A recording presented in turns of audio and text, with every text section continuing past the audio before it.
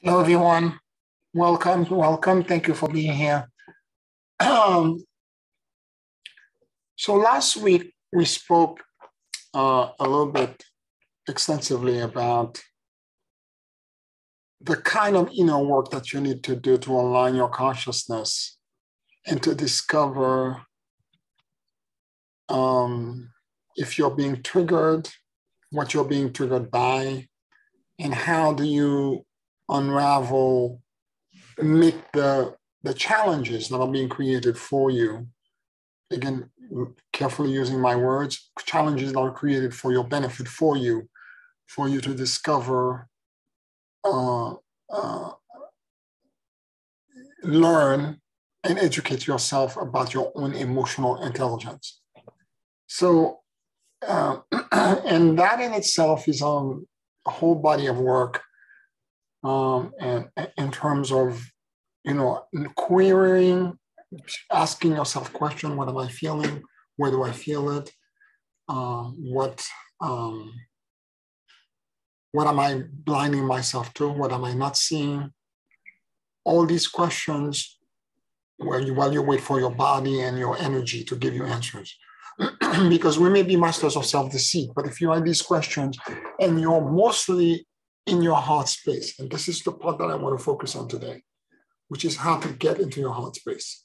If you're mostly in your heart space and you ask these questions, the right answer will come back. And it may not come back in one session. It might be several sessions, particularly when it's something big or something you're trying to really suppress. It may take a while for the actual real answer to come to you.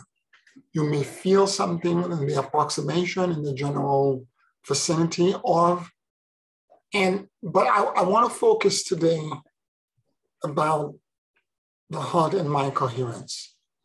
The idea of us merging into a heart space and allowing this to become the center of our consciousness. Now, it's a simple exercise enough, but if you're being presented, although I've done this for a long time, and I'm, I think I'm so-called an expert at this, for the past, I'm, I'm, I'm, I'm return, I've returned back to it, but it took for a period of two months, I couldn't get into that place. No matter how much I tried, I couldn't get because I was so besieged by challenges, by so many things that were, I was praying, I was doing all kinds of things, but I couldn't get into that space. I couldn't feel it. I was going through the motion of surrendering or doing, I'm going to go through it in a second, of doing what I'm supposed to do. But I couldn't get, there's a certain kind of feeling that you get when the coherence occur, when your heart and your mind blend with each other. I couldn't get that feeling. And it took a, more than two months of unraveling a whole bunch of stuff, a lot of praying for me to finally get back to it because I was so, there was so many crises around me and so many big fears that I couldn't, I, I, I could, I couldn't, I couldn't connect. And, and, and I want you to understand this, that there are times when you're, the challenges that are being presented to you are so big and so large in your consciousness that you cannot find a way for the, the routine and the way in which you know how to connect to God to be presented to you. And it's it's it's um it's amazing to me that because I thought I was an expert at this. I do this with my client. I do this when I'm channeling. I do this when I'm, you know, all the time. I do this all the time. I just it takes me literally like two minutes, and I'm and I'm there. I couldn't get into it because I, I was presented with what I considered to be a once in a lifetime kind of crisis. And it was so big and so large for me that I couldn't, I couldn't drop into that space. And when I returned back to it, I was like, oh my God, I can't believe that I was away from this for such a long time. And it felt like it was centuries ago that I had not been there. So the way you connect and, and, and really that exercise I'm going to go over with you is the key to everything. Okay? And I realized that if I was able early on during the moment of those two months of crisis, if I was able to go into that space earlier, my the period of time for my crisis would have should be shortened, shorter. So what you do is that you you take very deep breath, universal breath. You inhale from the core of the earth, and you let the energy move, and then exit outside of your head, and then you surrender and you let go. Now, when you do this, you surrender and you let go, you're now in, in the emptiness. When you are now in the emptiness, you inhale deeply the benevolence and the kindness of this emptiness, and you allow it to come back into you. You do this breath and drop, drop into the core of the earth. You repeat this several times, four, five, six times, whichever the, or 12 times, whichever the case may be for you. And when you feel releases that are happening in your body, then at that point, you imagine that your head, which is where your tactical linear uh, cause and effect brain exists, the frontal lobe, you imagine that all of this is now blended in your upper chest. Literally, that your head drop in the middle of your chest. And when you're in that space, you allow the neural net of your heart to sync in with the neural net of your brain. Because your heart is made of a neural net. So you let the neural net of your heart and the neural net of your brain to sync with each other. You keep breathing deeply. And for a moment, you're going to imagine that the entire focus of your consciousness is in your upper chest. As if uh, your eyes had been relocated in your upper chest. And that you could only see the world, but from that part of your body.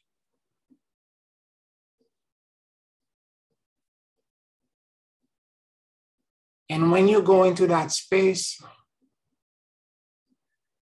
and you sit with it, you begin to perceive in a very different way. You begin to experience the world in a very different way. For one thing, you begin to sense 360 degrees energies all around you. And as you continue to breathe in deeply and slowly, you simply observe and notice what you noticed. Pay attention to any details, any insights, any expansion that may want to show up for you. You keep breathing deeply and slowly.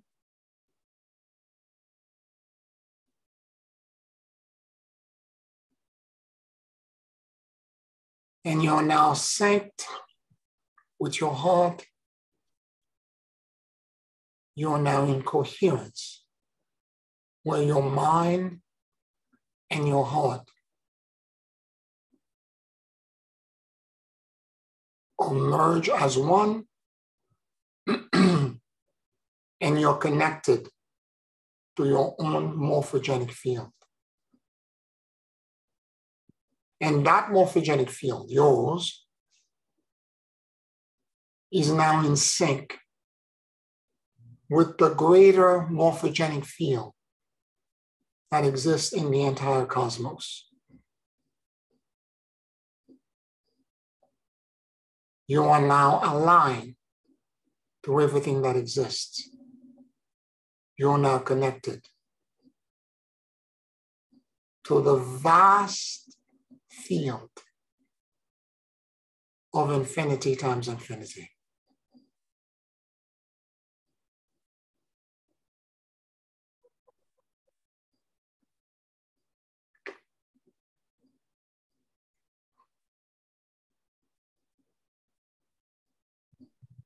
This is the heart and mind coherence. And this is how you do it. What, it took 10 minutes to do? Maybe a little bit less?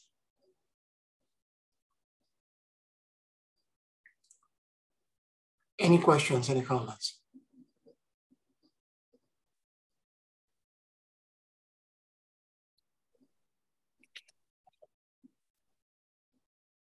Yes, Pierre when you say sync the neural net of your heart to the neural net of your brain, I'm accustomed to having you say that.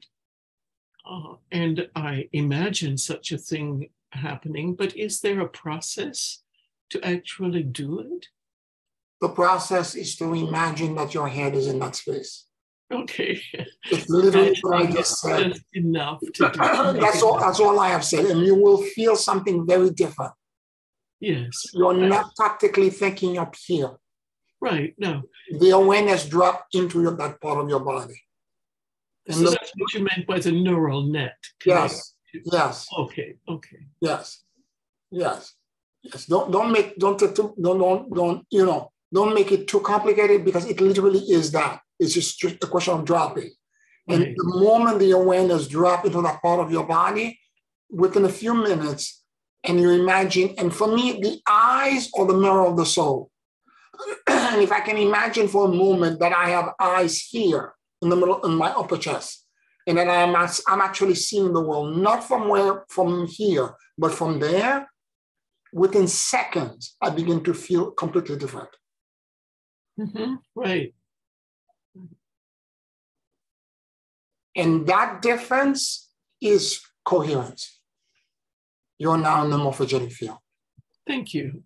I'm glad, glad to have that confirmed. Yes, yes, yes. Um, and again, once that is, this is the most, and and I, and my code for it during my meditation, let your heart drop in the middle of your chest. That's my code for go into coherence morphogenic listening. Because what you're doing at that point when you when your eyes are there and your, your awareness is in your heart, you're you're observing and you're you're listening to everything around you in a completely different way. In Carlos Castaneda, the way he Don Juan taught him, he called this the second attention. So you're perceiving the world in a completely different way. And if you let yourself sink correctly in that space, suddenly you are no longer trying to survive, but there is a holistic approach to how you're observing the world. Everything is being filtered to this part of your body that is including the collective awareness, not only that belongs, that, that, that, is part of your own torsion field, but the torsion field that everything in the universe exists in. You're not connected to everything. It's a beautiful feeling. Yes. Yes, yes, yes, yes. And, and again, because I was in such deep crisis for two months, I, I couldn't get in that space. I tried to. I tried to drop my awareness. My awareness could not. I was so in my head because I, had to calculate how to how to rescue myself. How to how, how am I going to overcome this? I couldn't let go of this. I couldn't get there.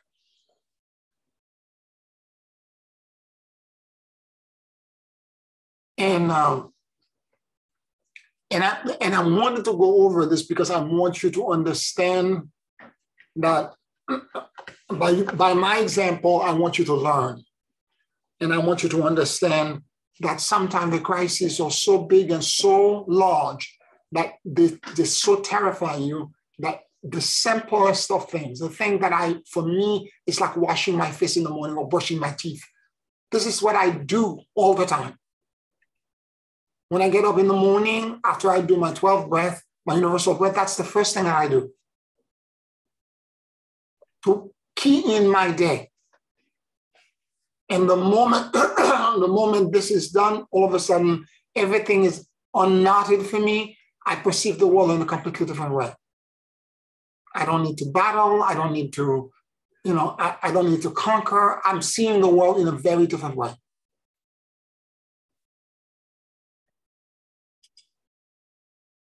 So for me, that that's that's the key exercise because every meditation that I do always starts with the same thing. Let your head drop in the middle of your chest. This is code for me for this particular state of awareness. And when you're in it, the afterglow remains for hours.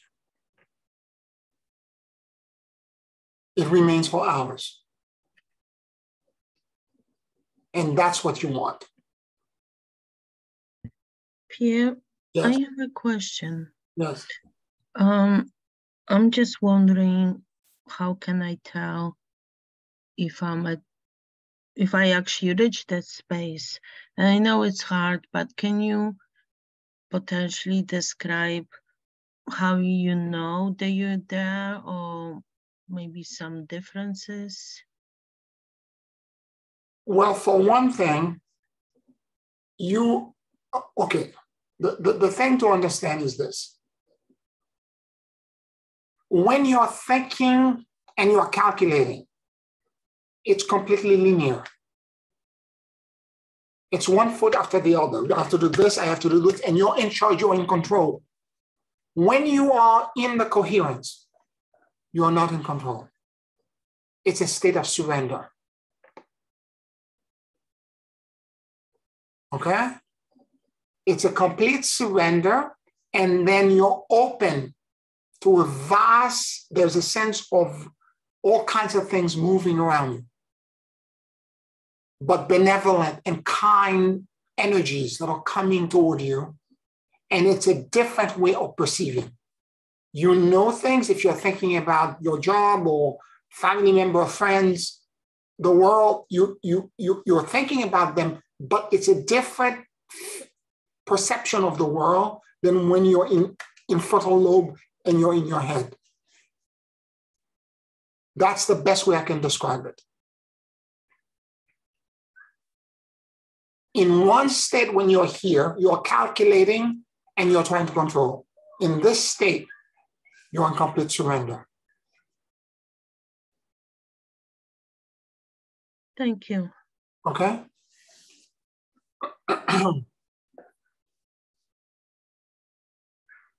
so that state of being, when you get in it, gives you the ability to access data and information, not only from your own morphogenic field, your own torsion field, but also from the morphogenic field of everything that exists in the universe, because everything is in a morphogenic field.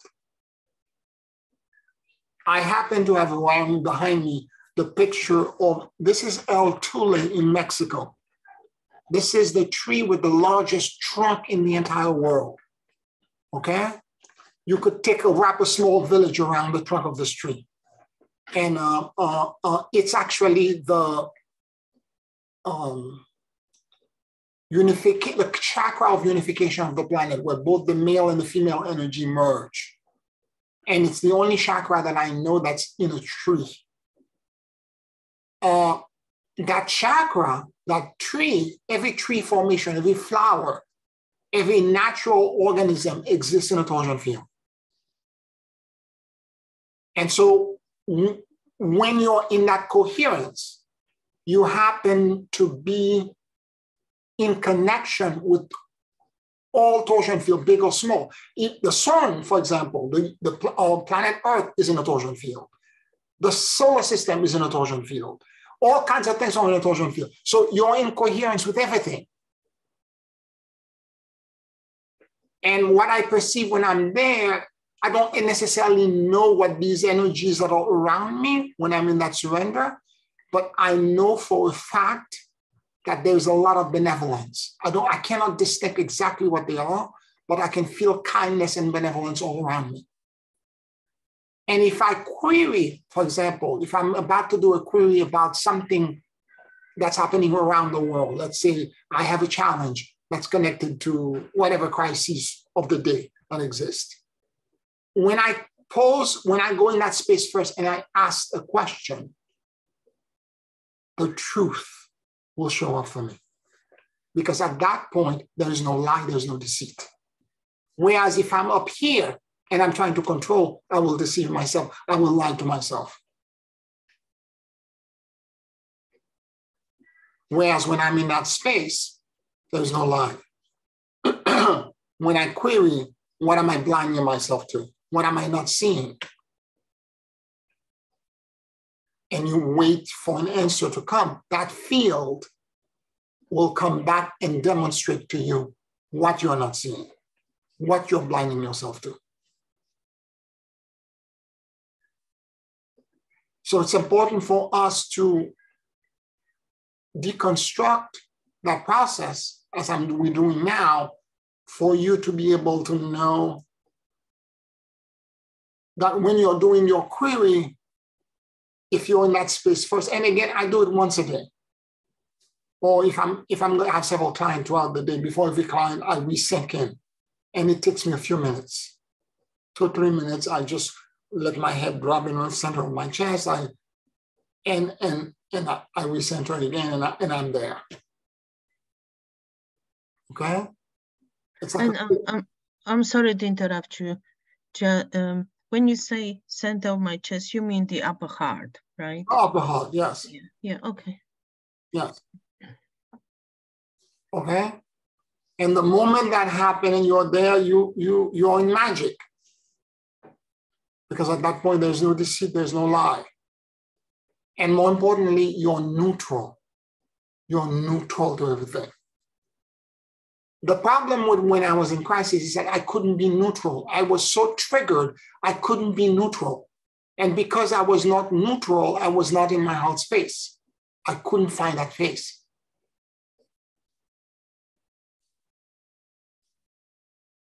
I was praying, I was doing all kinds of things, but I, I was not neutral.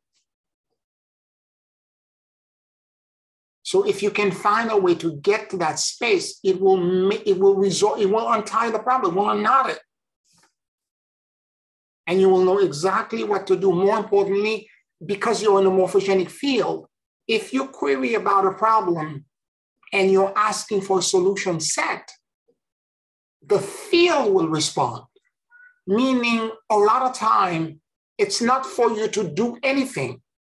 The field will unknot it and something miraculous in the real world, because my morphogenic field is connected to the morphogenic field of everything, something in the real world will unknot and come back to me to my benefit, to resolve my problem.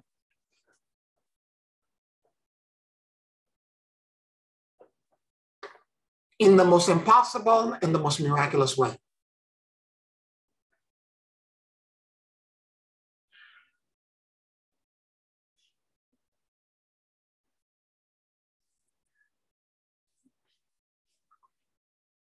So this is the reason why you do this. I've been saying, for those of you who've been with me for 12, 10 years, you know I've been saying the same thing over and over again. Drop your head in the middle of your chest. It's code for heart and mind coherence. It's code for morphogenic listening. And it's code for you to be in that state that call, um, Don Juan calls the second attention. And when you're in that space and you're in that merger, you are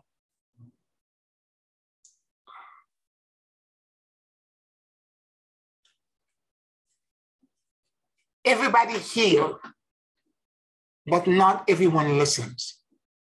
When you're in that space because you're in such surrender, you're listening most of the time to information that your heart and the entire morphogenic field is trying to give you. This is why I call this the morphogenic listening.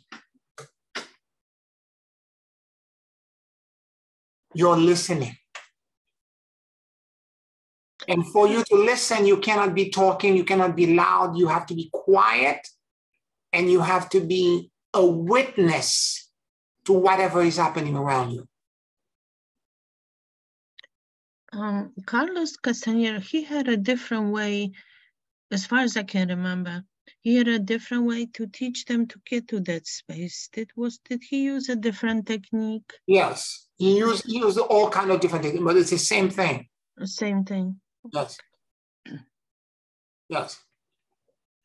So so uh, uh, all be said is that we we are when you're in that space, you're going to be so open and so wide to kindness, to benevolence, and to hope.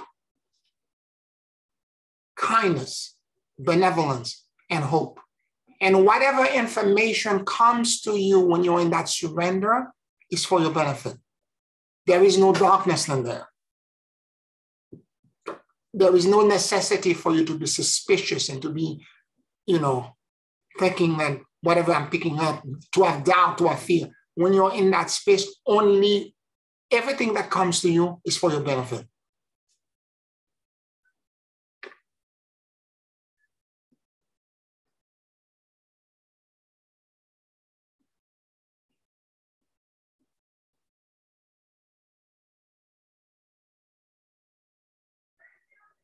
So keep yourself in alignment, keep yourself at peace, and let whatever benefit is coming to you show up for you.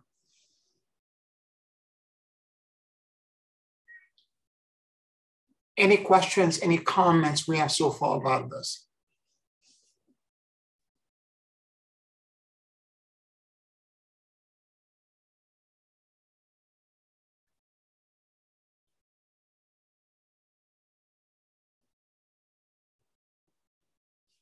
Now, that part of us, which we, what I call the upper heart or the morphogenic listening, in other uh, uh, classes, I've described it as what uh, Don calls it is also the assembly point or the assemblage point. Uh, and we call it the heart and mind coherence, the upper heart, we call it the morphogenic listening space, coherence, we call it all kinds of other things. It's the same thing. They are seeing it the way uh, the shamans from that lineage sees it. They see it as a ball of light between our upper shoulder blade. We see it as a as that awareness that expands our upper chest and that resides in this part of our body. We're seeing it from the front, they're seeing it from the back but it's, in, it's actually inside the body. It's the same location. What they are claiming also, meaning the, the, the shamans, is that 3D consciousness is nothing more than an unconscious agreement that everyone on the planet has made to keep their awareness focused constantly to the same location, the same point on the assembly on the assembly point. In fact, in one of his teaching, one of his book, um, Don Juan Carlos Castaneda described says that that ball of light has a small dent in it, and that dent is created by the focus, the stationary focus that we keep on 3D. However, when we sleep, when we go to bed, when we doze off,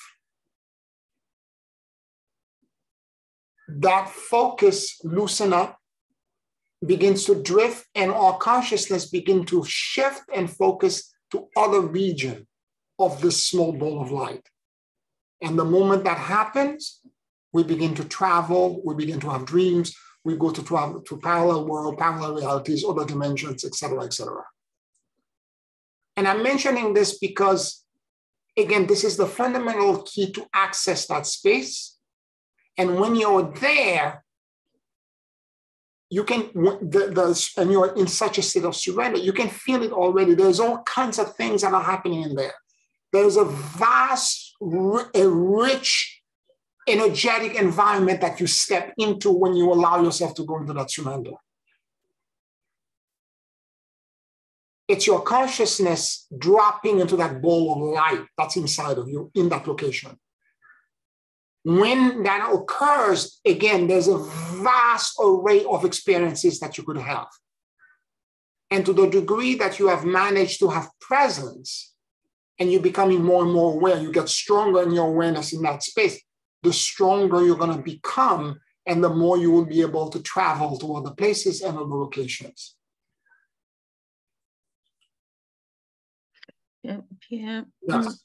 Um, so as you were talking, I was doing the query, and I find that when I query for my upper chest or I query for the assemblage point, it's a different experience and maybe it's just a matter of um, obviously more practice to find that common point inside that you're talking about. Um, so does it matter which one we use? I'm using the upper chest because that's what i know. I'm not in that lineage with the assembly point. I'm using it as a point of reference to corroborate information. Okay. So so so they're kind of the same, but maybe not different, not exactly the same then. I, I don't know what you're perceiving, Ursula. Mm-hmm. I, I, can't tell, okay? Mm-hmm. But what I know is that it's the same location. One is being perceived from the front, the other one is being perceived from the behind. It's that part of your body, it's right there. Okay? Okay, and just a, a second question so when we do the Bardo exercises for the, um, when we look at, um, you know, we shift our gaze and um, to the back of the head and eventually arrive at the um, amygdala. Should, when we do this, should we also arrive? That's a, that's a little difference. It's a different exercise. It's a different, different it's a completely different exercise. Okay, it's okay. Just wanted to. It's a completely different exercise. Okay. And it's yeah, and it's also different from the assembly point that they're using. It, right? It's a completely different exercise. It's a completely different exercise. Okay. The Carlos Castaneda lineage is not do not does not use the the um, the um, the uh, medulla oblongata. They do not use it. This is a Kabbalistic thing, and this is something that the Buddhists, uh, the second Buddha taught. It's not something that's found in any of Carlos Castaneda's book.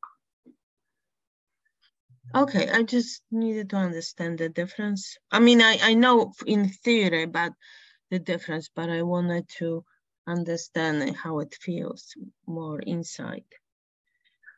Because, I mean, I suppose there are some things that these things have in common as well, right?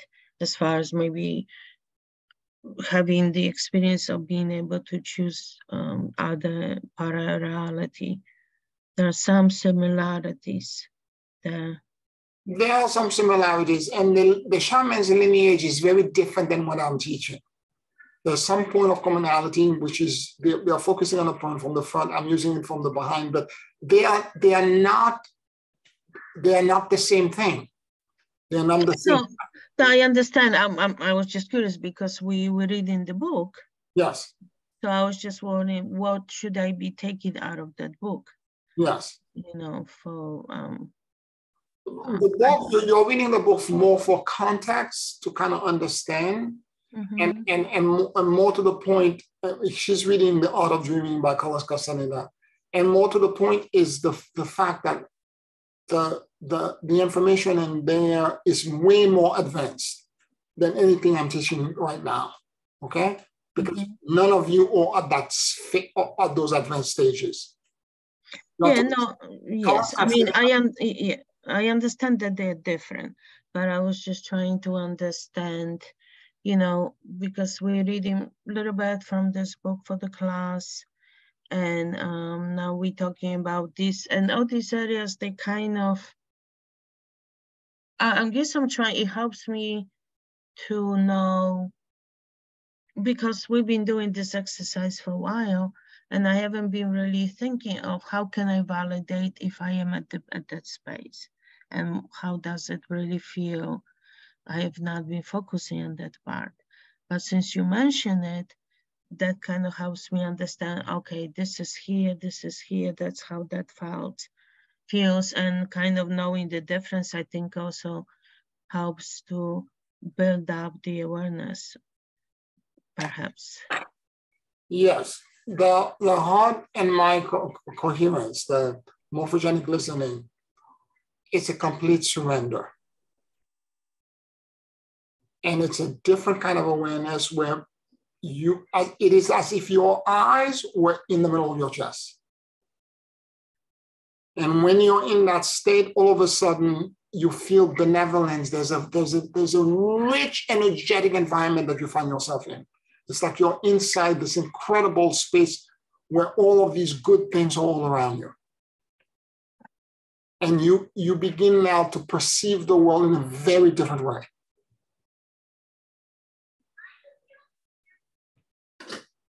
That's the best way I can describe it. Okay, It's, it's, it's one of these things you have to know there to go there.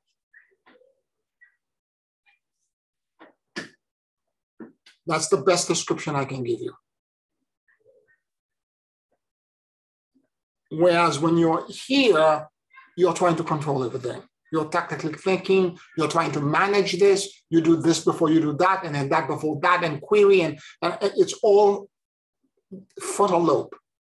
Whereas here, there is no such thing. If you ask the question of the field energetically, the clear sentient information comes automatically. And it comes with truth, not with doubt, not with deceit, not with, you know, because when you're up here, we lie to ourselves. We we create, we we have what we think is breakthroughs, they are not breakthroughs they're actually seeds of doubts that are being planted in. Whereas when you're here, whatever you get when you're in that space is truth. And it's your truth at the moment. This is not to say that three months from now, something may not be added to it, but it's your the truth that you're capable of perceiving at that moment. I want to qualify that because truth is not like mathematics. It's not like the equation equals minus five. Truth exists in an infinite spectrum of knowing. And wherever your consciousness is, you will perceive what your consciousness is capable of assimilating at the time as the truth at the moment in time that you're in. But a few months from now, a year from now, 10 centuries from now, that will evolve into something else that will become much richer, much bigger, much larger.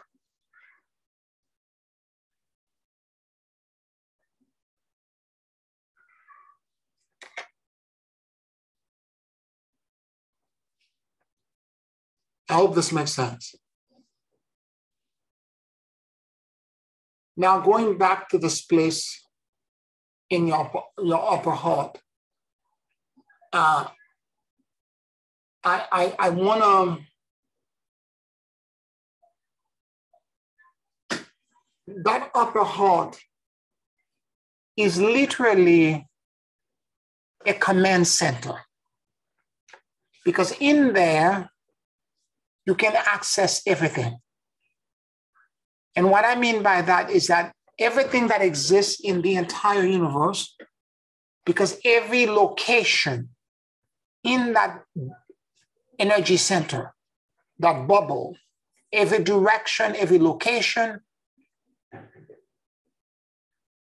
with the right intention directed at it, will cause an effect into the into the real world. Because let's say for example you you, you have an issue related I, I don't know to uh, something that you're facing okay?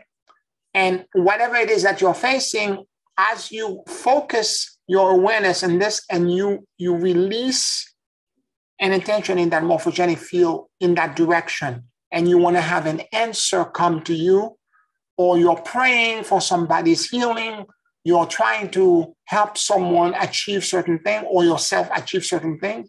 When you focus on this and you go into that space and you release the intention in that space if you're truly in the morphogenic awareness when you release it suddenly it creates a ripple in your own morphogenic field because your own morphogenic field is connected to the entire multiverse not just this universe, but the multiverse. I've said this before.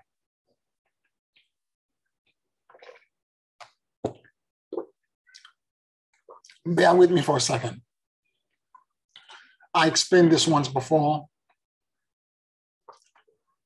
The idea of three different types of space so let's say the universe is a morphogenic field. Let's say this mind trying to uh, uh, create a, a bubble is the universe. If I'm at the top here and I want to travel to the bottom, normal space, I would have to travel all the way around to get to here. And the way we connect the normal space is that we we travel at the speed of light which is the fastest that you can travel in space-time continuum. However, in subspace, the laws operate. This is the, uh, the first instance is the Einstein theory of relativity. The other space that I'm talking about, the subspace, is where if I want to go from here to there, if I create, if I somehow distort the membrane of time and space because time space in our universe uh, i'm going to explain it in a, in a very simple way. If you have a trampoline and the trampoline is a membrane and you, you can bounce things on top of it. You can bounce a marble a marble barely creates a dent but if you take a bowling ball and you put it in the center, the bowling ball will create a huge net because it has a lot of mass. And if you were to put marbles next to the bowling ball, there is videos of actually scientists doing this. The marble begin to rotate around in the orbit of the giant ball until the orbit brings them to the very next to it. This is what happened with planets that are rotating around a sun or around a, a, a black hole. So, except that in, in actual in actuality, time and space is not a flat sheet. It's not a trampoline. It is actually a volume. It's like us, if, if, if you were swimming in water, it exists everywhere. So when, when your mass increase, the dent that you create in the fabric is all around in every direction because it's a volume. Now, traveling from the top of the universe to the bottom to subspace, you increase or you, you create a perforation through the to the trampoline.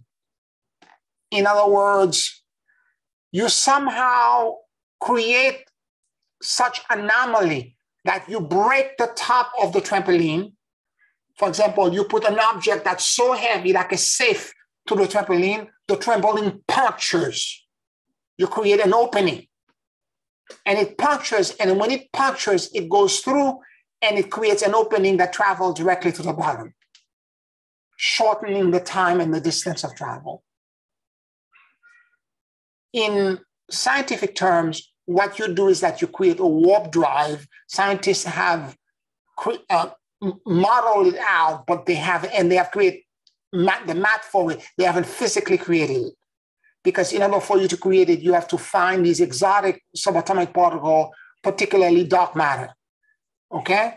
And a lot of it for you to be able to, to bend space around you. In fact, the object doesn't really move. You just bend the space around you and then you, you push the space behind you. And, and, and when that happens, you travel to subspace. The final stage or different calculus, it's the quantum uh, field and quantum mechanic, which is saying something very different. At really sublevel at the very beginning of the universe, object the laws of physics were not established. The law of relativity, subspace were not even established.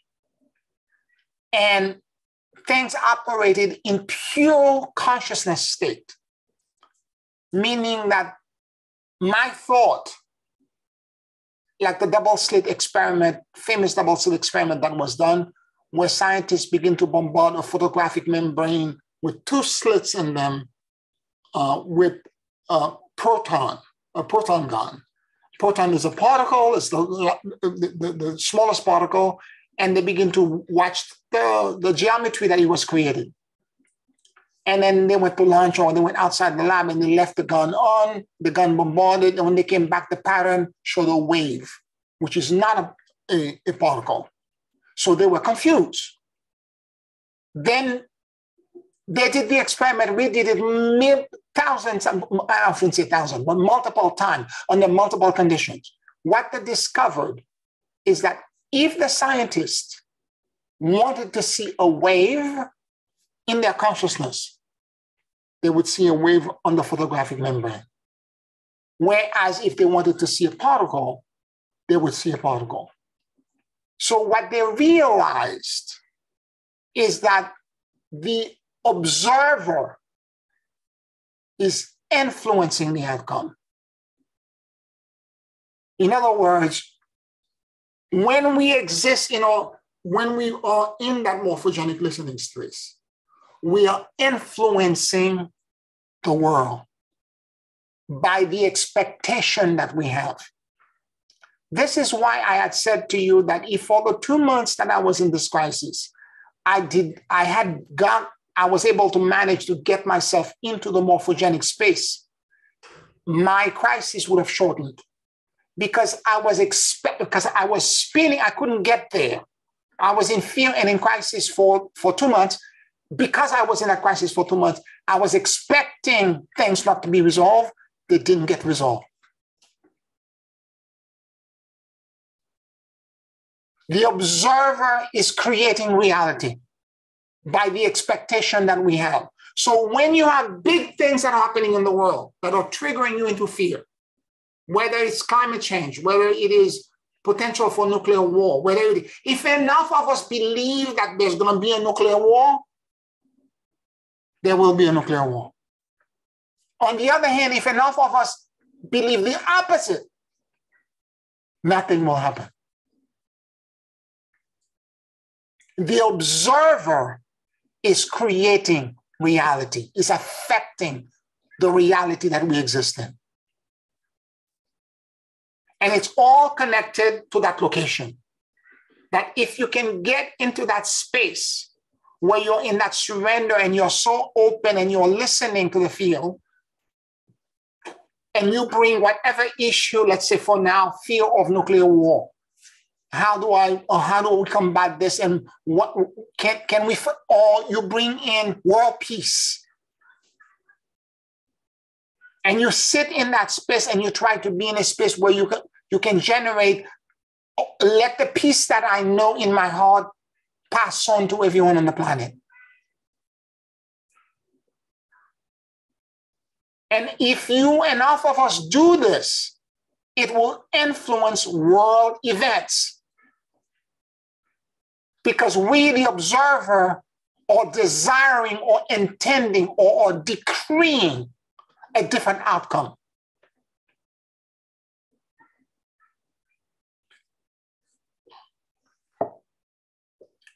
The other way for me to, uh, this is quantum physics. Quantum physics says, for example, if I hold this cup in my hand, that cup exists everywhere in the universe simultaneously.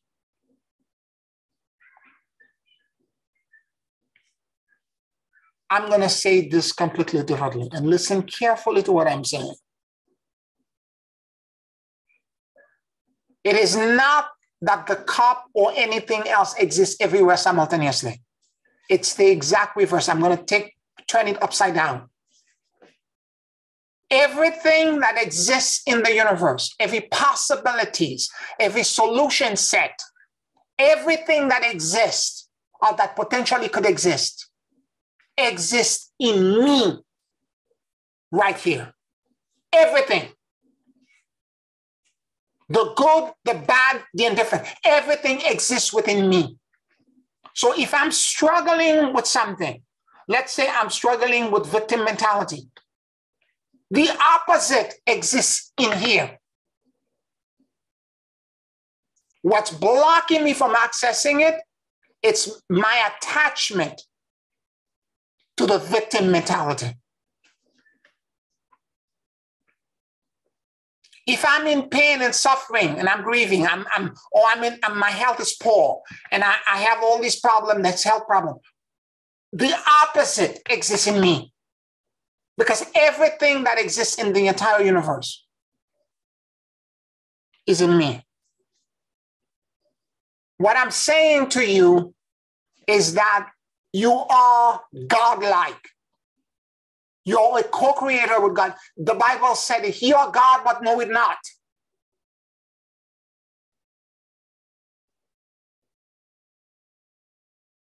What's blocking you? It's the conversation that you're having in your head, the negative feedback loop conversation that you're having in your head that's saying, It's impossible. I cannot possibly do this this is too big. It's too heavy for me. I cannot i can possibly i'm too much of a victim. I can possibly do this. This is too much. I need help.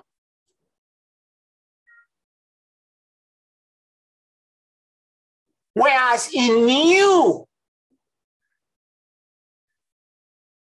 as the observer exists the opposite. All you have to do is decree it and will it and it will show up for you and that's what you will experience. Because natural law work all the time. If scientists were able to observe this and realize, and they conclude, this is scientists we're talking about. Molecular and atomic scientists they observe and they realize that it's the observer. The only thing that changed is my expectation. When I expect to see particle, I see particle. When I expect to see wave, I see wave. So I am influencing what, what reality I observe. Now, the mystics, the enlightened one, the teachers, the great saints, have been saying this for centuries.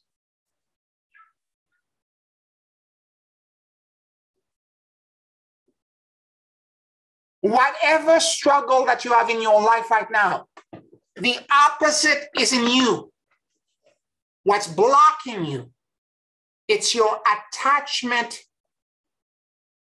to the condition that you're in. There is a part of you that's marinating and that's putting paprika, putting condiments in, that's comfortable in, in the suffering that you're in and that wants to prolong it for whatever sadistic reason that you may have. There's a part of you that's holding it back that does not want to let it go. Either because there are the people that you're engaged with, you want to prove them wrong, you want to make sure that everybody sees you as being right, you want to, you know, because we, we there's a desire sometimes in us, particularly when there's a calming dynamic, that we want everybody to see that we're wrong, we're right and they're wrong.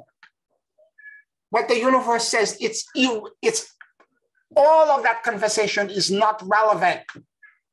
You want the condition to be gone, decrease something else while you release and let go of all your attachment, including your attachment to outcome.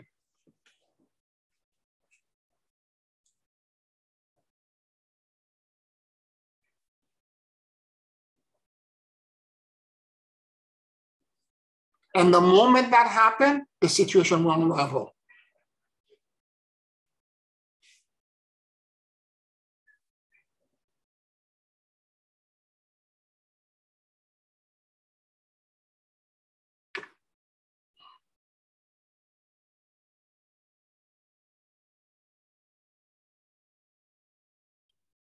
Yes, okay if I interrupt with a question. Yes, please, please.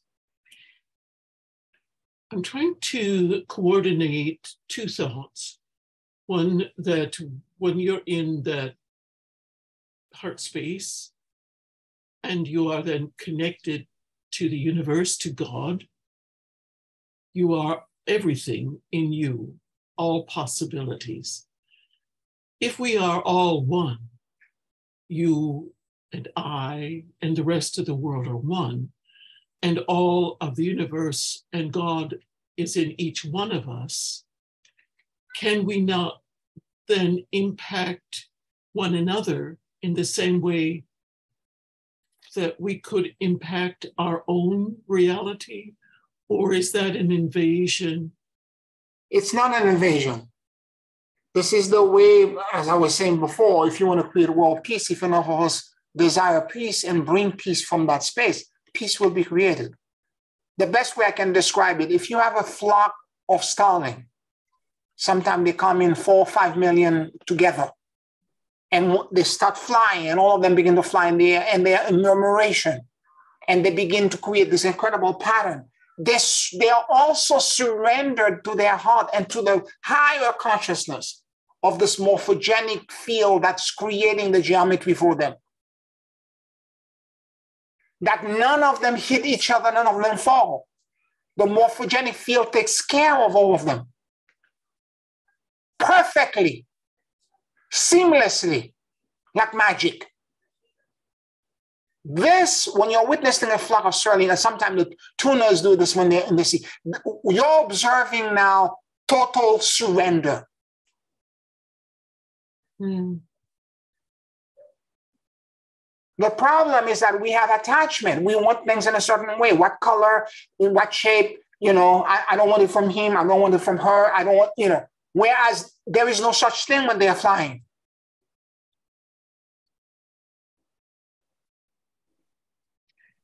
Thank you. One final question. Okay, um, let me see if I can verbalize this correctly. You're in your heart space in that blissful uh, coherence with the universe. You have resisted or put aside any resistance, and you are able to create a reality that that you want or that that's positive to you. Um, does it disappear the moment that you slip off the wagon, so to speak, and find yourself troubled with those thoughts again, those doubts. Does, does this toggle back and forth, or does it, once you've created it, does it stick? Okay, it depends the degree of presence that you have.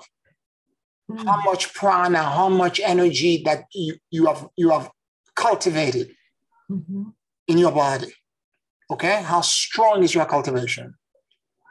I use the example a lot of what happened between me and Celidia when she was in Atlanta for three days trying to get a flight from Atlanta into New York uh, after uh, Memorial Day. She couldn't get a flight.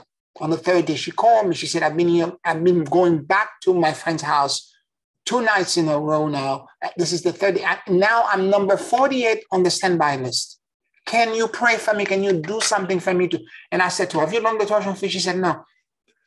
And I, I went because I was already in that space. I was already in that coherence. I told you, when you're in that space once, the afterglow remained for hours. I was already in that space. It was very easy for me. I, I, she's on the phone. I'm holding the phone.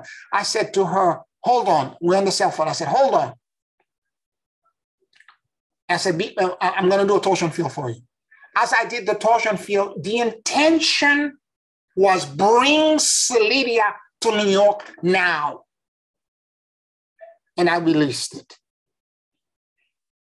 And I asked the guardian to come in, first torsion field around her for this intention to be created. Second, third. When we got to maybe torsion field seven or eight, she said to me, wait a minute, wait a minute, wait a minute. Uh, they, they, she, she's saying something. They, they, want us to get in the plane. I, will call you back. I'll call you back. She hung up the phone. Hmm.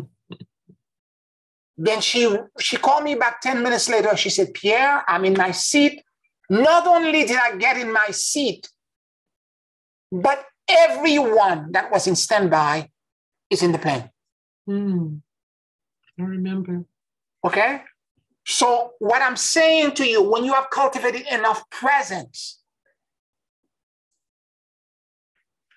there is a wave function collapse that allow, meaning by that you you put so your certainty is so strong that you you now this the way I was describing the ball, and then you instead of having a bowling ball, you put a safe, you drop a safe in the membrane, and it punctures through. That's what you do. But you need presence and you need enough uh, cultivation in this practice to be able to do it.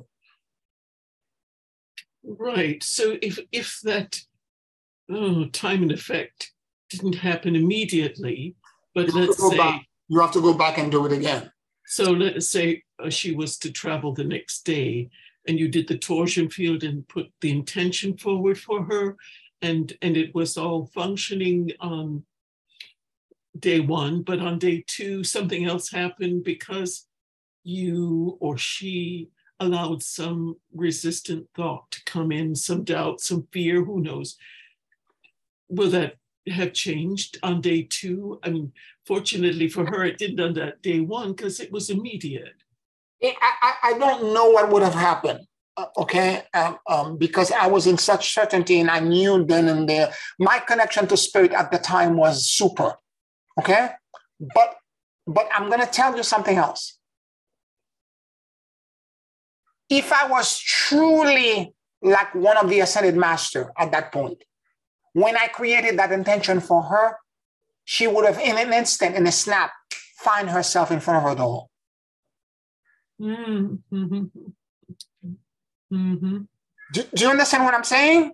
Mm, I love that. And, and, and Janice, I, I, when I told Celidia this, she said, Oh, if you had done this, I would have dropped dead. She said, I would have fainted right in front of my house.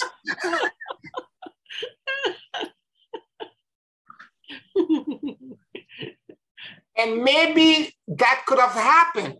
And maybe she was the one that wanted it to happen in a way that would not cause her to have cardiac arrest. Oh. Do you understand what I'm saying? Yes, yes. So she factored in. She it, it happened in a way that was acceptable to her.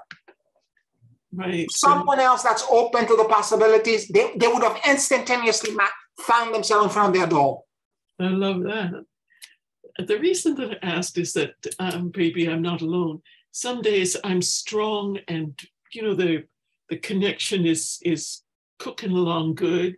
Yes. And then maybe something happens the next day, and something brings back all kinds of different negative thoughts and emotions. And I'm wondering, did I just destroy what I built on day one? Um, I, I, wouldn't say you destroyed it.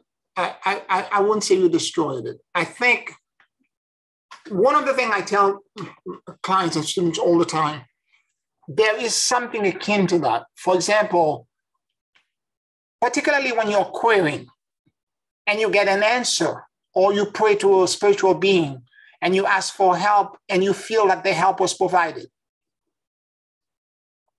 Okay? So what happened?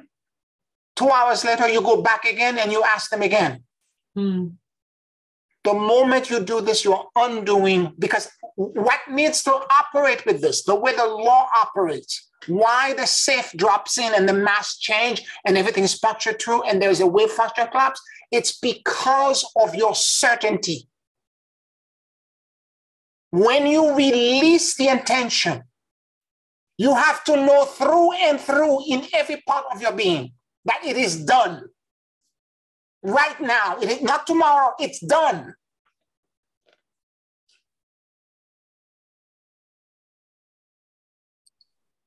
And the moment that happened, touchdown. It's created.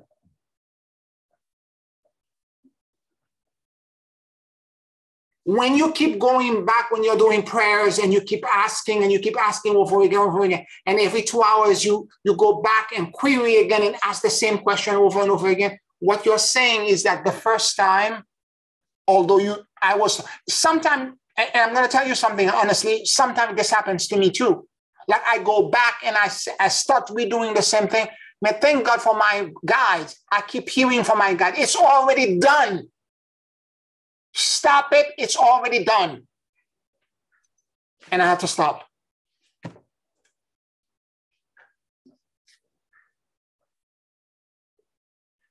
Like I'm praying for somebody. I do the prayer once, and then, you know, two hours later, I go back, I try to do it. They're like, stop, stop, it's done. Now, maybe I could just say that it's not on day two, let's call it, that that I would be praying or trying to reach that coherence for a particular outcome, again, it's just that the doubts come back. I know, and the right now, girl, you and I are seeing eye to eye. Right now, this is this is what happened to me for those two months. The doubts. Yeah. You're beginning to second guess every every move that you make. Right did I do this right? Was, was this wrong? Was this, you know, a few hours later, some, some whisper, some stream of consciousness thing comes in telling you you did it wrong. You, you, you were not good enough. You should redo this. That that protocol was not done correctly. Do this. And and and it drives you bananas. Mm. And the problem for me, when that happens, I am here. I'm frontal mm-hmm. lobe. I'm linear. Because when I am in my heart space, my heart knows better. It knows the truth. Well, there's the answer. Just stay in your heart space where no doubts and fears can enter. That's it. it because my heart knows better. But I'm saying to you, I'm acknowledging the challenge at this moment because there are so many big things that are happening simultaneously. Mm-hmm. When you hear for example, that North and South Korea are having a nuclear escalation. When you think, you know, what's happening between Russia and Ukraine and, and ballistic missiles or this, when you when you hear these drought on your supply chain, you go to the supermarket, everything is three to four dollars higher. Eh, when when you're when you're seeing all of this, of course you begin to be afraid. it, whatever, it, it will jolt you out of your heart coherence. But what I'm saying to you, resist. Mm-hmm. Resist. Go back into the heart space. I'm, I'm telling you this and I'm telling myself this again. Resist. Because when I'm in that space, all kind of abundant thing happens to me in the most miraculous and impossible ways. And I'm not just talking about money. I'm talking about health. I'm talking about opportunities. I'm talking about kindness. I'm talking eh, all kind of miraculous thing begins to happen to me. Mm-hmm. Synchronicities come. Yes, it's that whole saying that says jump and the net will appear. I jump. It's not the net that I needed. I grew wings and I flew. I love that. Who knew? So, so this is this is what I'm talking about. Is that it, it and, and I'm acknowledging the challenge. Because like I, I have I have clients that are in California, and when there are fires and they have to flee their home, they have to pick up their belonging and their family, their dog, and, and they have to run. This is we're talking about crisis. This is frontal lobe. This has to react. There's no time for you to go in heart and mind coherence. Mm-hmm.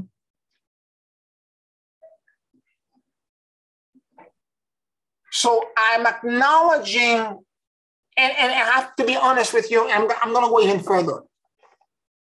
These world events that are so big and so loud, that are causing, uh, for example, right now, the division in, in um, elections are still being decided. The division and the, the, the way the, the, the our, our, our country is being ripped apart. That in itself can cause somebody to go ballistic. So you have all of these things, and I'm going to say something else to you. If through all of these things, through all of these challenges, you're managing to still be made in your heart space, you win. Mm-hmm. Because that's exactly what these things are. They are challenges to test you and see if you're still going to go to that still place within you. And if you can still do it, then you will go to a deeper connection, a more profound level of connection in that heart coherence. And that will actually give you the opportunity to master yourself in an even deeper level. Just imagine what we could do. We might, on a collective level, decide that we're not going to agree on the 3D forgetfulness of who we are. And, and, and this is what's supposed to happen at the time of the galactic equator crossing. Mm. All of us, all 144,000, will will be the. This is why we're we we are the actual gates. We're going to create the opening for them, for the rest of the world to move, for those who are willing to move in that space. Mm-hmm we're gonna this is what this is what we're gonna do we're gonna all agree that safe passage into that world into that new in the new earth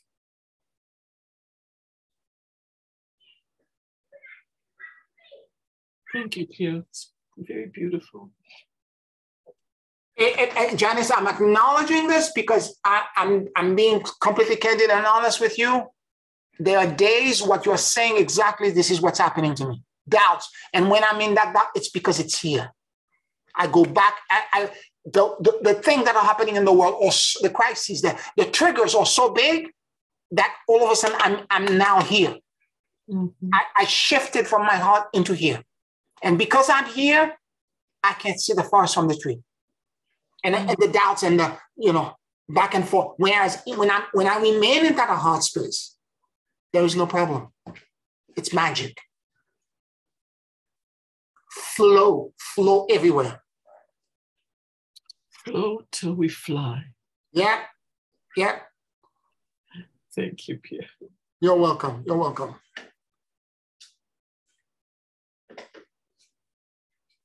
Anyone else? Any questions, any comments?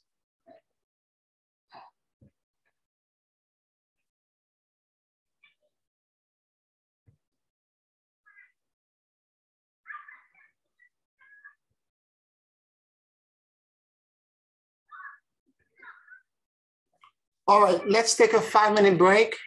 And then on the back end, we'll do our closing meditation. Thank you.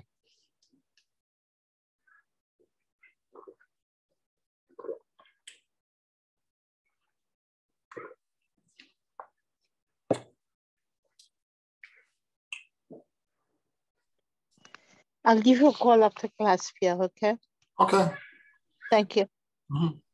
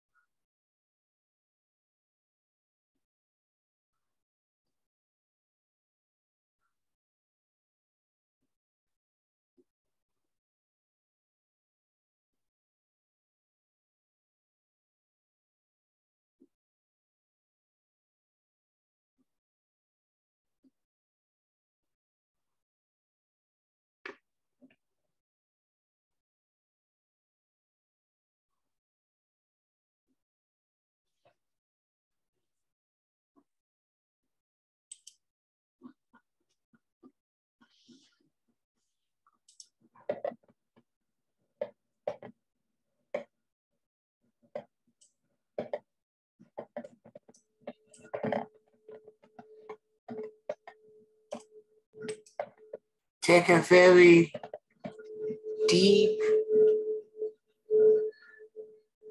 and slow breath.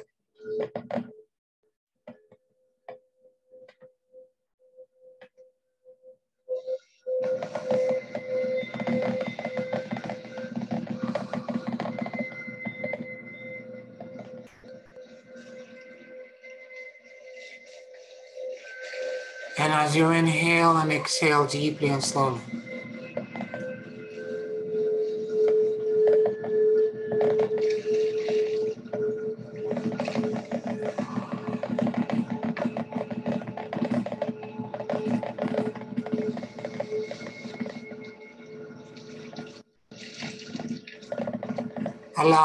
Universal life force that permeates everything to enter your lungs.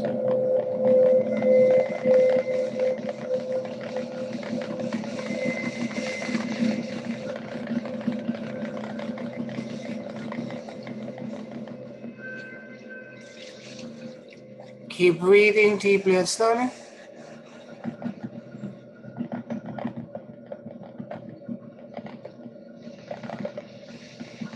Your soul and your awareness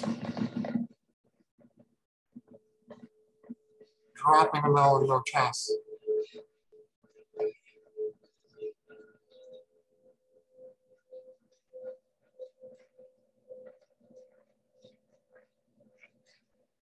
Please forgive me. I love you. And I let go.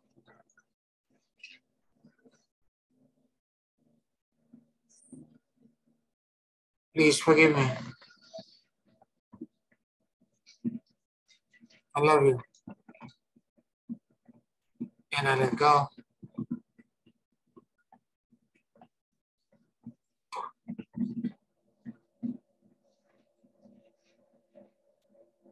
Let your mind and your heart sync with each other.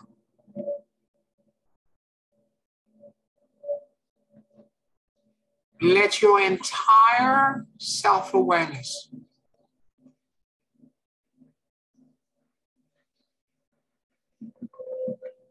shift into your upper heart.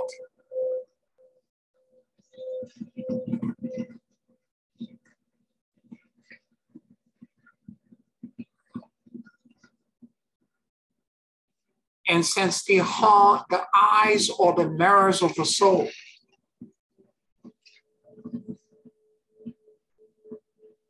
begin to now perceive and see the world.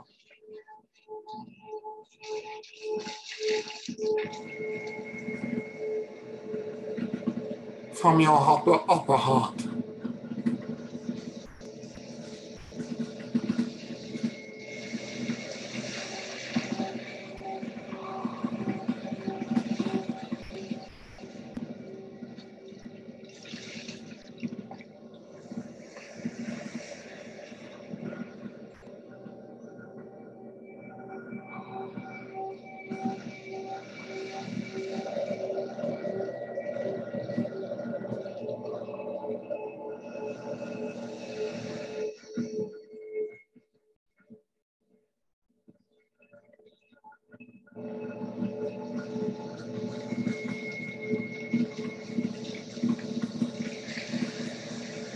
Keep breathing deeply and slowly.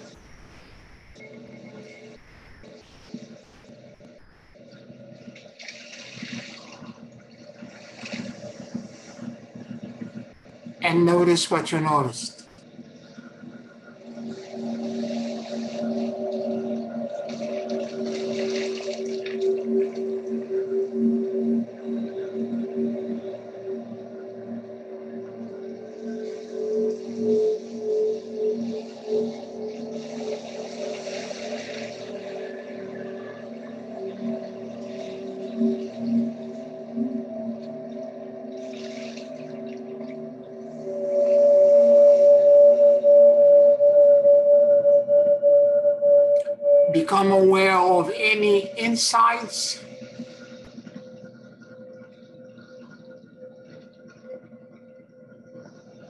Expansions,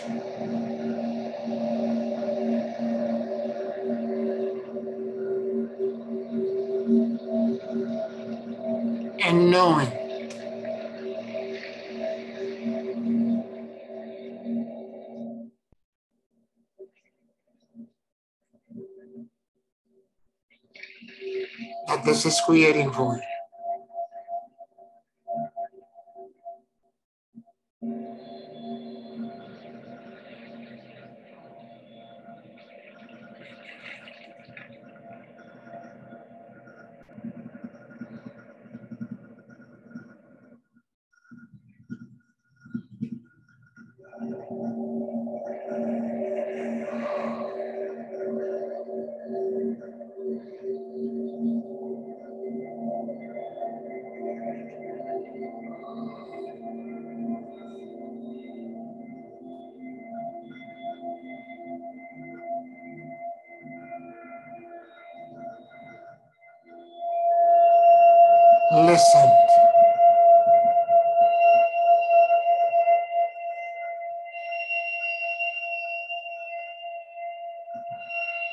As if the more than 50 trillion cells that exist in your body had ears.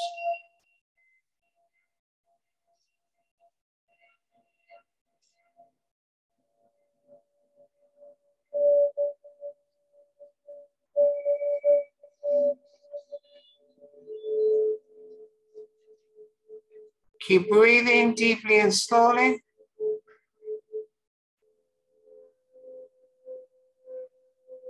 As you allow now the morphogenic field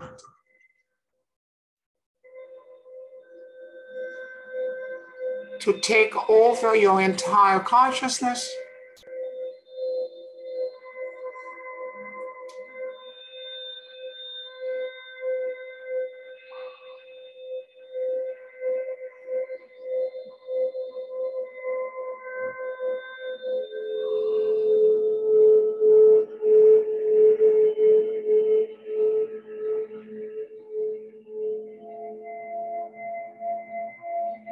Keep breathing deeply and slowly.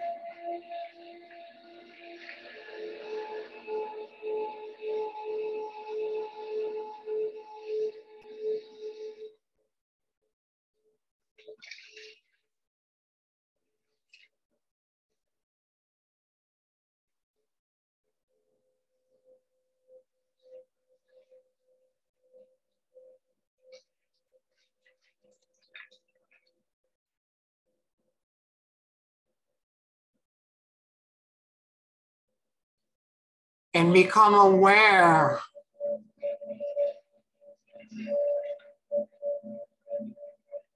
of the vast and endless field of extended blessings.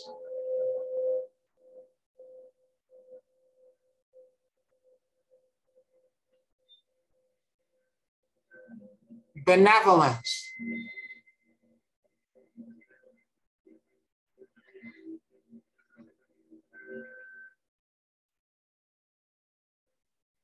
And kindness.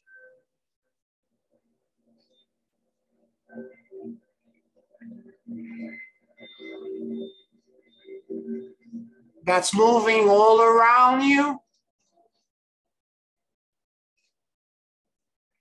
and grounding into every cells of your body.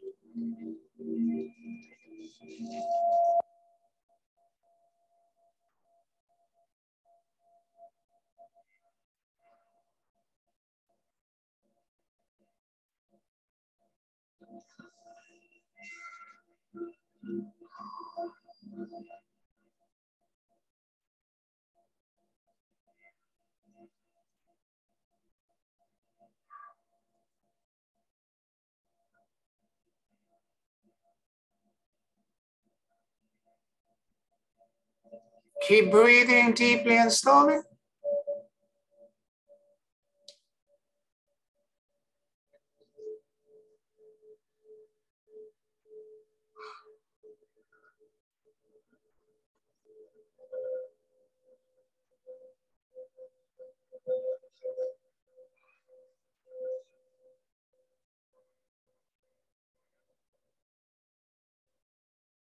And surrender into this blessed field.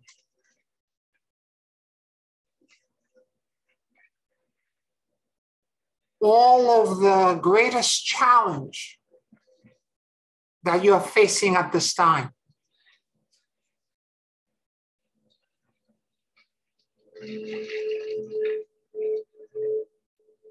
Let no parts of what you think you need to do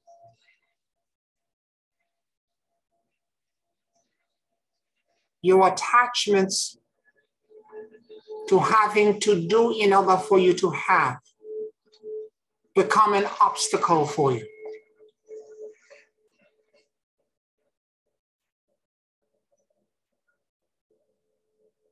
Unburden yourself completely.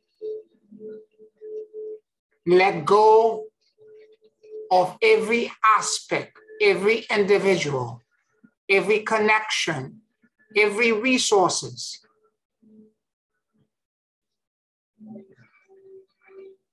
that are connected to this challenge.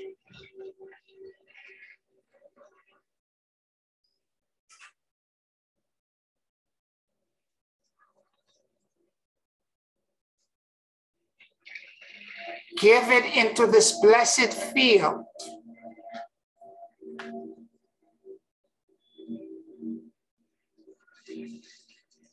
let go.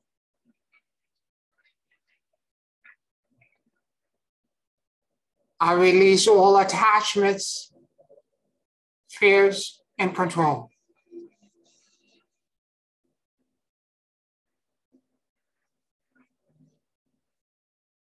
And I surrender into the great emptiness and endless luminosity.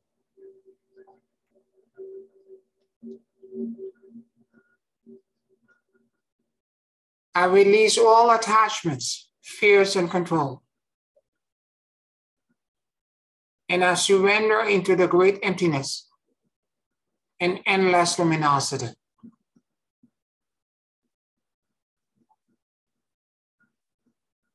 I release all attachments, fears, and control.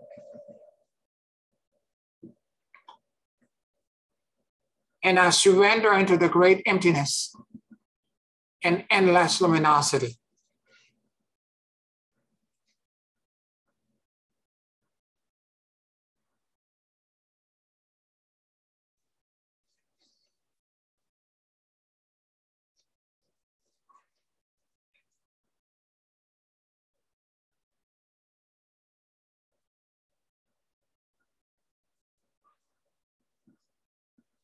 Now I decree that today, right now,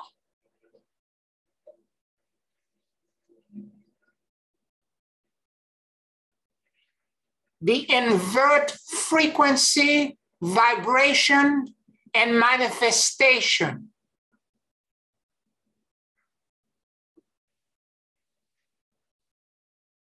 to exist in my life.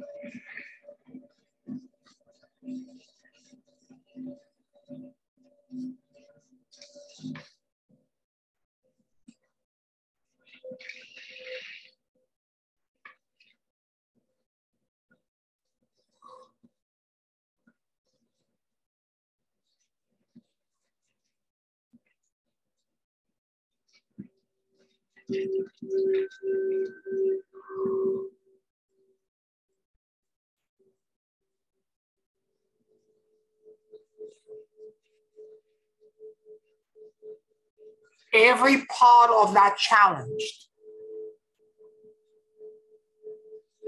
is an illusion. It's a test.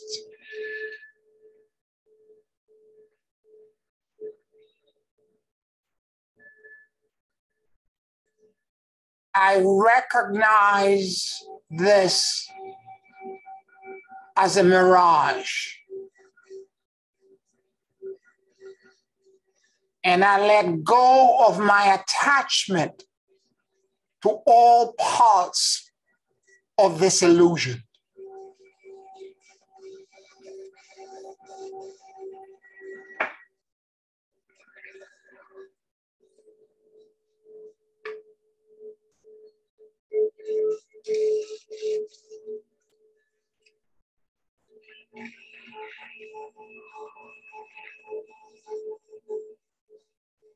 Thank you.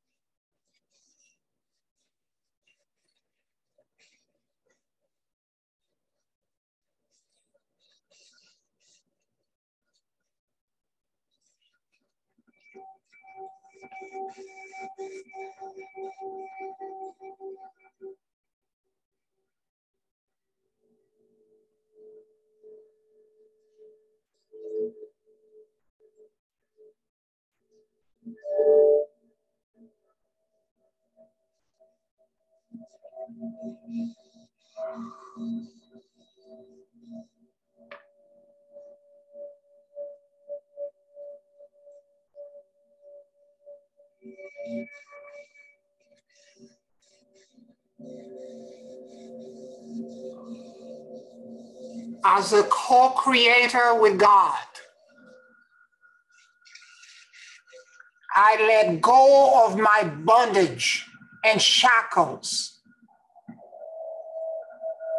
that are keeping me prisoner to this narrative.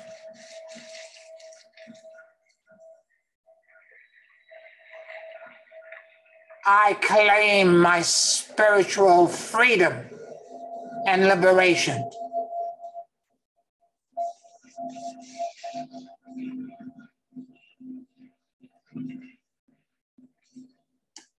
I am free at last, free at last, free at last.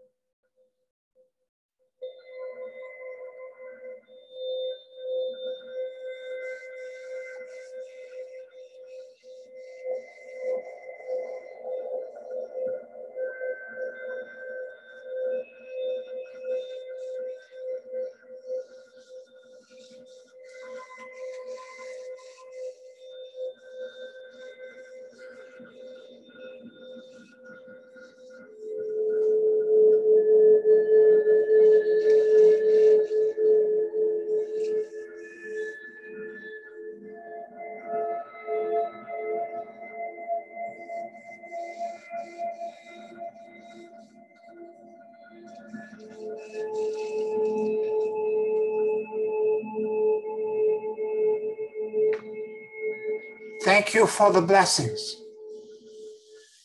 I accept the gifts and I receive with gratitude.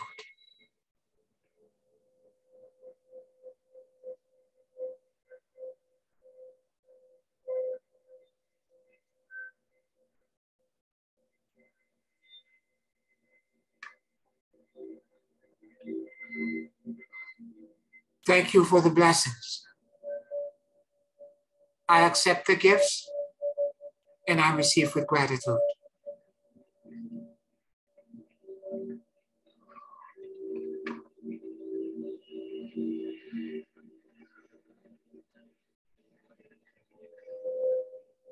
Thank you for the blessings. I accept the gifts and I receive with gratitude.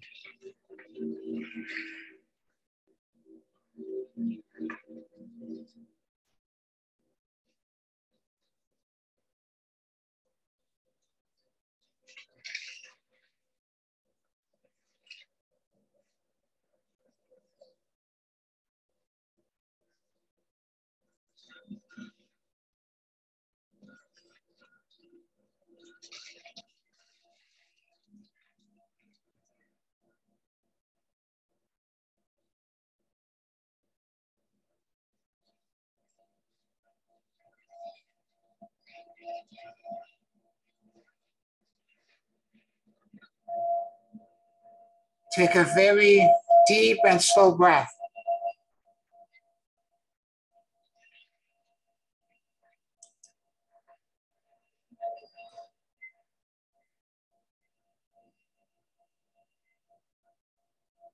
And whenever you feel ready,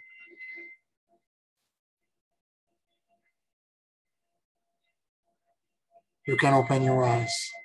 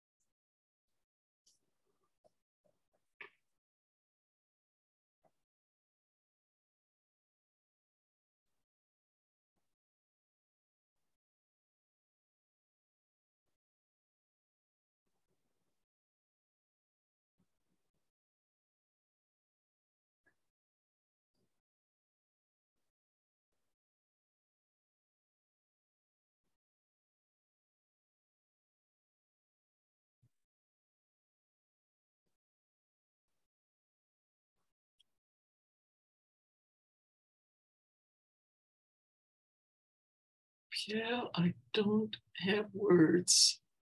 I don't have adjectives superlative enough to describe what a stunning meditation that was.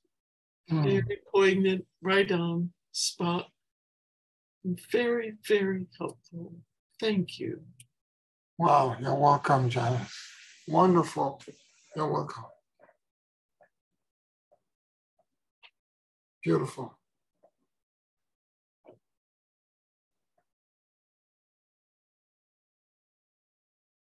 Any other comments, questions before we close?